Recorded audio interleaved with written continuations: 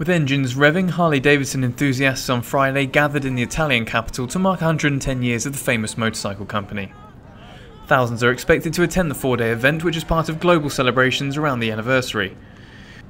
With St. Peter's Basilica serving as their backdrop, participants took a break to dance, chat, and show off their vehicles before hitting the city's cobblestone streets. Because it is the biggest Harley track in Europe today.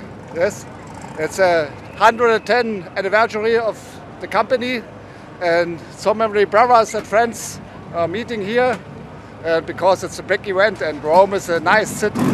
Some of the bikers gathering under the blazing Roman sun were simply happy to have escaped colder temperatures. We want to go to Italy because the weather is much better than ours.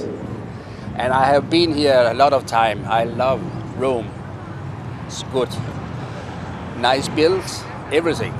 Several activities and events had been organised across the Eternal City to mark the anniversary and to entertain the European enthusiasts.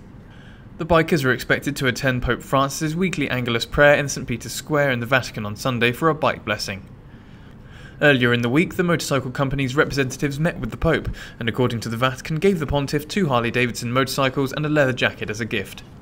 A 40 kilometre Harley Davidson parade from the port city of Ostia to central Rome is scheduled for Saturday.